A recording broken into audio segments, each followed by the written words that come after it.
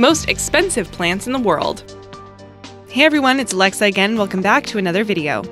Flowers are the most beautiful way to show someone that you care, each flower and color symbolizing a different emotion. Yellow roses for friendship, two toned carnations symbolize disdain, and daisies represent innocence. Most flowers don't cost too much, but there are some that are exceptionally pricey, which we will see today, along with some other great plant facts. But before we get into today's video, make sure that you're subscribed and ring the bell so that you never miss any of our upcoming videos. Lisianthus. You must love someone a whole bunch if you're going to buy them a bundle of Lisianthus because it'll set you back between 10 and $35 per bundle. These flowers bloom annually and are very delicate and don't bloom for long. They come in hues of violet, lavender, pale purple, and white. Once you cut them from the stem, though, they don't last long and have earned the nickname paper flowers. Lisianthus stems from a Greek word, lysis, which means dissolution, and anthos, meaning flower.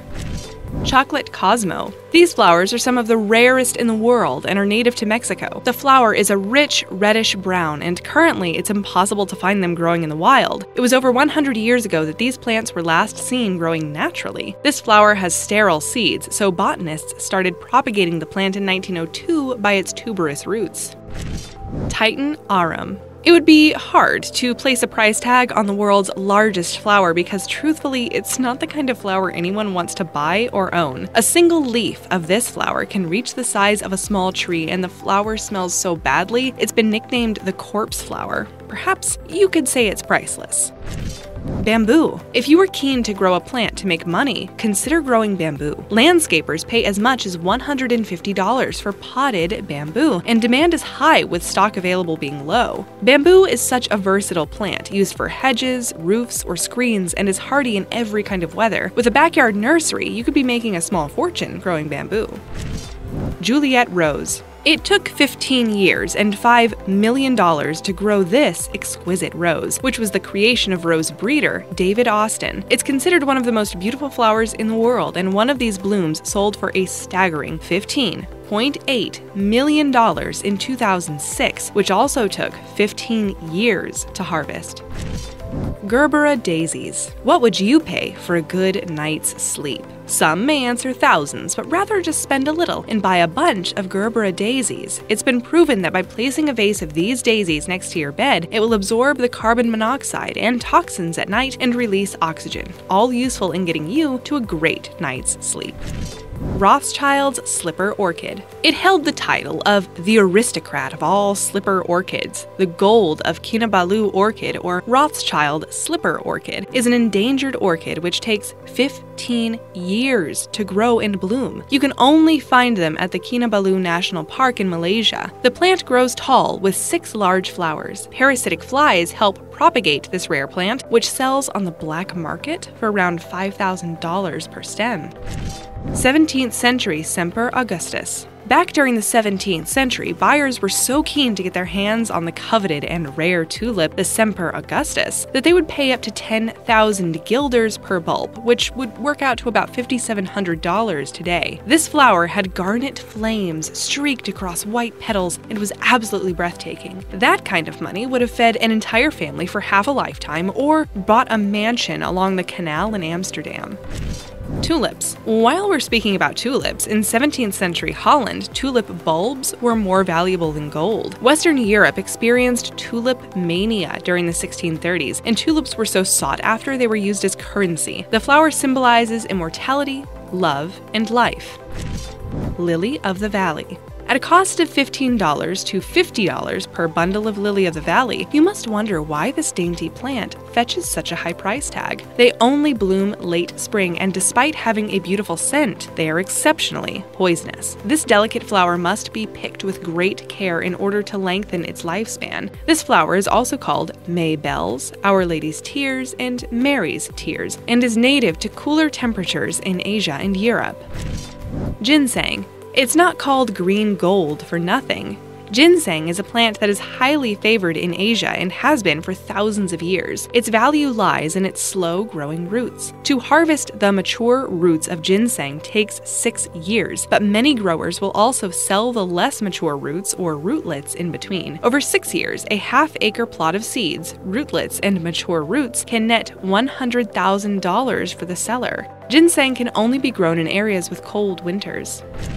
Broccoli. No, we're not mistaken. Broccoli is a flower. This vegetable is harvested before the flower buds open fully, and then it's eaten. Who knows, maybe some broccoli in a flower arrangement would look pretty cool. Cabbage is also something unusual to add to your next floral arrangement.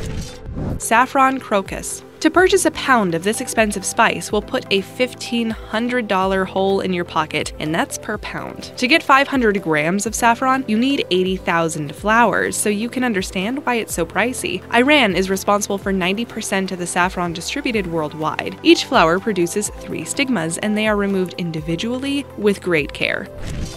Gardenia. A single bloom of gardenia bought online can cost around $13, and although they're not the most expensive on this list, you can understand how costly it could be if you were to make a bouquet using this beautiful flower. They have full white heads and are part of the coffee family. Native to parts of Africa, Asia, and Madagascar, these beautiful flowers bloom mid spring to midsummer and have the most incredible scent. Sunflowers. Breaking away from our pricey bouquets, sunflowers make a great change to the traditional bridal bouquet. Did you know that sunflower heads do track the sun's movement? It's a phenomenon known as heliotropism. The tallest sunflower in the world was 30 feet tall and belonged to Hans Peter Schiffer from Germany. Hydrangea. There are certain types of flowers that remind you of people, and these remind me of grandmothers. Perhaps because mine had bushes of these outside her front door. They cost in the region of $6.50 for a stem, and they come in the most gorgeous hues of violet, light purple, pink, and blue. They do wilt easily, which is why you need to buy them as close to your event as possible. They're not easy to grow, which is why the hefty price tag. First discovered in Japan, these flowers get their color from the aluminum ions in the soil. Landscaping trees and shrubs. If you've redone your garden recently, you'll know how expensive it is to buy a 5 gallon pot with a plant inside. So, why not grow your own and resell them? A potted plant can fetch as much as $100 a pop. If you can specialize in hard to find trees, you won't have any problem selling them and making a decent profit. Gloriosa lily. A vine of Gloriosa lily will cost between 5 and $10. This beautiful plant is native to South Africa and Asia and looks like flames hanging from the vine. The color of the petal changes from tip to center, and although initially pricey to buy, is very easy to grow, and you won't be left disappointed because even a person without green thumbs can keep this one going. Ghost orchid. Native to Florida, Cuba, and the Bahamas, this orchid loves the habitat offered by the cypress swamps where there's a specific fungus that has developed a symbiotic relationship with the orchid. The roots of the orchid are photosynthetic, which gathers nutrients for the fungus and in return gives the fungus sugar. There are only 1,200 of these plants left, and it is illegal to pick them. These orchids rely on the sphinx moth to pollinate them at night. You can own one, but it's expensive and they die really easily might not be worth parting with your money.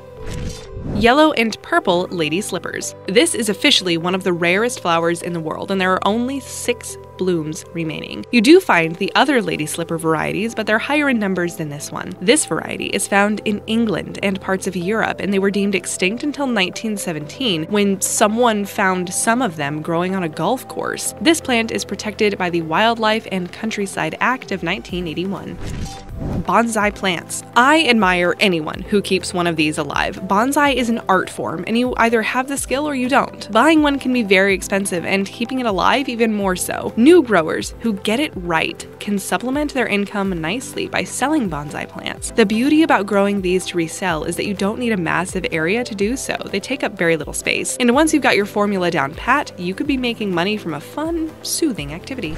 Roses. Leaving price tags for a moment, let's look at one of the most popular flowers in the world the rose. These delicate beauties are related to apples, raspberries, cherries, plums, and even almonds. Some species of roses are rich in vitamin C. Those roses are used to make jams, teas, and jellies. Roses are edible, can last for ages, and of all the colors, there is no natural black rose. There is one called the Black Rose of Turkey, but it's a dark crimson red as opposed to true black.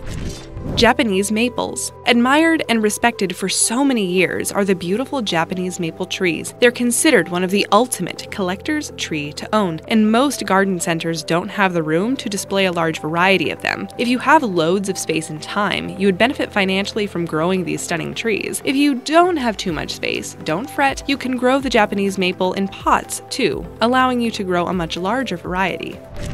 The Franklin tree flower. A few seeds of this flower will cost roughly $23. And the amazing fact about these seeds is that they are descended from seeds collected in the 1700s. This flower is a member of the tea family, and the plant has dark green leaves that change to red during autumn. From the plant grows five petaled white flowers with a yellow middle. The first plant was discovered in 1765 and named after Benjamin Franklin. It's popular in gardens, but has not grown naturally in the wild since the 1800s. It's believed a fungal disease wiped them out in the wild.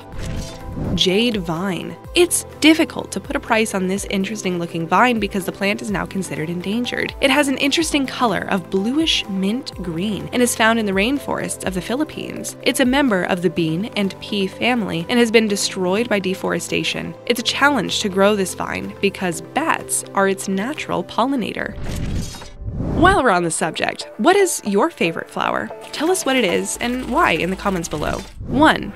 Kadupul flower. This plant is considered priceless, and here's why. This cactus is found in Sri Lanka and it's exceptionally rare. The flower only blooms at nighttime and survives for only a few hours. Even just laying eyes on this flower is tricky, let alone trying to pick it and sell it. This flower has never been on sale and probably never will be.